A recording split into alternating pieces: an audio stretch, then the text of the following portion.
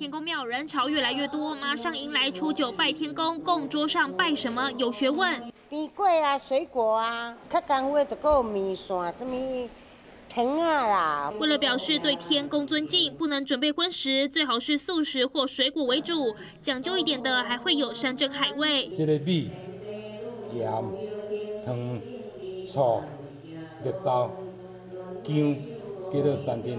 另外，烧给天宫的金纸需要用特制的大型天宫金，也就是大寿金纸。天金、尺金、寿金、易金、土地金，合称五色金，都要传边边。还有最佳时间在子时，也就是晚上十一点过后到凌晨一点。我惊讲我过灯早起爬袂起来啥，你等你用来讲我，等你下班来拜，迄工。上面习俗都不收。另外，初九拜拜时，不要说快一点，不可以口出秽言，不要动怒，不要发毒誓，不要指天空，更要小心这句话不要脱口而出。